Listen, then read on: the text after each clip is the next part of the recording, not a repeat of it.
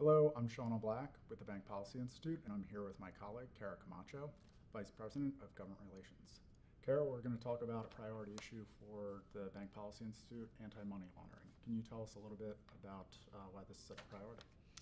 Yeah, uh, money laundering is a priority for financial institutions and uh, banks, credit unions, because banks are required to know their customers. In other words, to know, in fact, who they're banking and who they're opening accounts for. And what is BPI doing on the issue? The Bank Policy Institute has been advocating for uh, an updating of the anti money laundering regulatory structure for about three years now, and we've come up with a set of recommendations, and we're pushing those on Capitol Hill.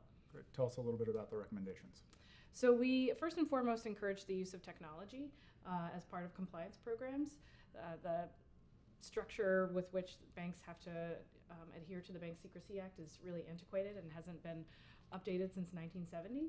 So we're af- asking for the uh, financial institutions to be able to use artificial intelligence and technology in some of those compliance programs. And lastly, what, what are the next steps?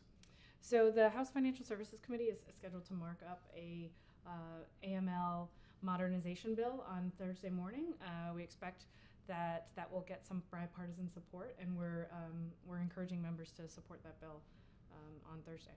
Great. Thanks so much.